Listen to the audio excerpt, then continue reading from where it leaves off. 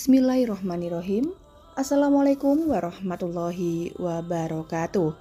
Selamat berjumpa kembali di channel ini.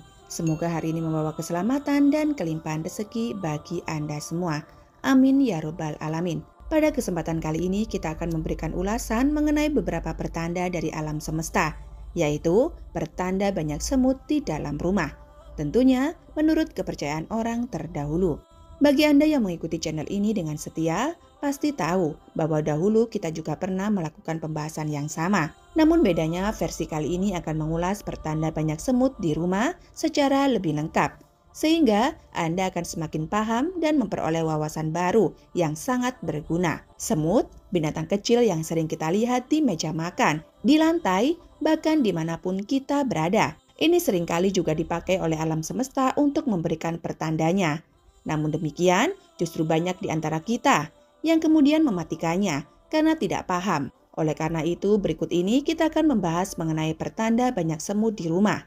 Untuk urutan yang pertama adalah pertanda digigit semut menurut kepercayaan orang terdahulu. Jika ada semut yang menggigit bagian tubuh mana pun, maka biasanya akan membawa makna yang kurang baik, yaitu akan ada cobaan yang datang di dalam kehidupan Anda. Bisa dalam hal rezeki, pekerjaan, usaha, jodoh, dan lain sebagainya. Semut yang menggigit Anda, jika warna semutnya hitam, maka cobaan akan mudah dan cepat selesainya. Namun, jika warnanya merah, maka cobaan akan lebih berat dan sulit diatasi. Pertanda banyak semut di rumah urutan yang kedua adalah Anda melihat semut yang sedang membawa makanan.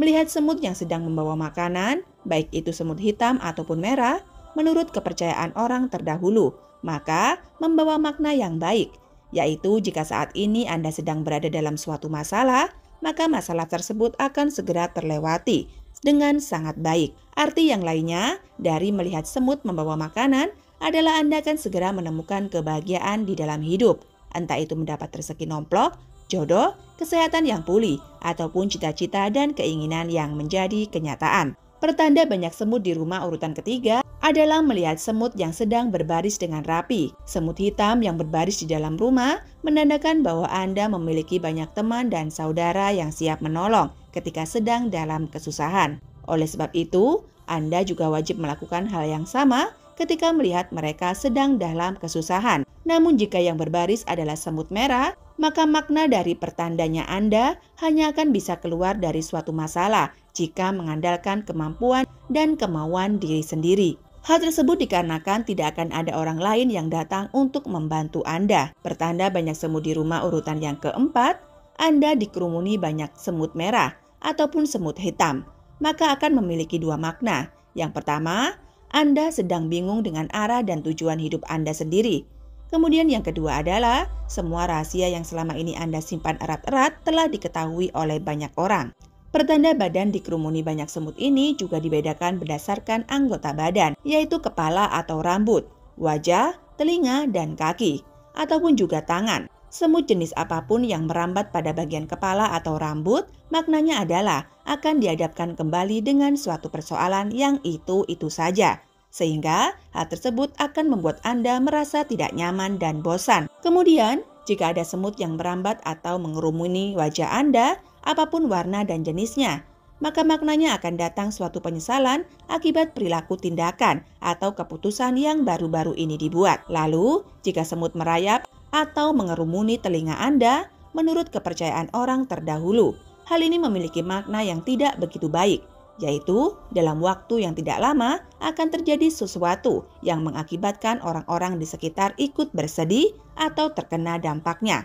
Selanjutnya, jika ada semut yang merayap atau mengerumuni kaki maupun tangan Anda, maka dalam beberapa waktu ke depan akan terjadi kestabilan dalam ekonomi.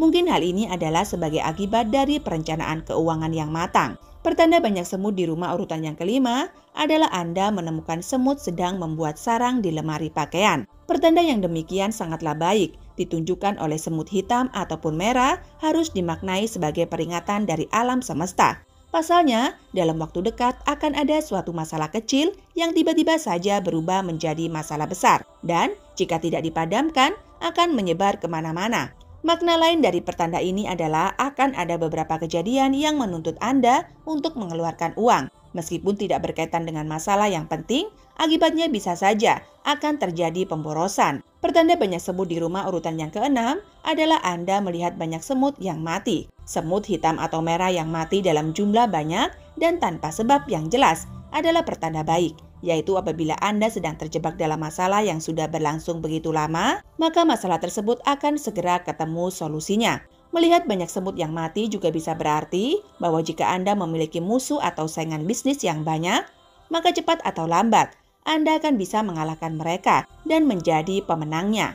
Pertanda banyak semut di rumah urutan ketujuh adalah melihat semut yang memiliki sayap. Jika Anda sering diperlihatkan oleh kemunculan semut bersayap di dalam rumah, maka bisa jadi alam semesta sedang memberikan pesan bahwa Anda ingin melepaskan diri dari segala lelah dan suntuk akibat rutinitas sehari-hari. Oleh sebab itu, mengambil cuti dan menikmati liburan adalah solusi yang bisa dipertimbangkan. Pertanda banyak semut di rumah urutan ke-8 adalah secara tidak sengaja menginjak semut dan membunuhnya. Jika Anda secara tidak sengaja menginjak semut sampai mati, entah itu semut merah ataupun semut hitam, maka maknanya akan mendapatkan kehormatan. Selain itu, ada kemungkinan bahwa Anda akan memperoleh kenaikan dalam karir, gaji, ataupun usaha yang sedang ditekuni. Pertanda banyak semut di rumah urutan selanjutnya adalah Anda menemukan semut di dalam air minum.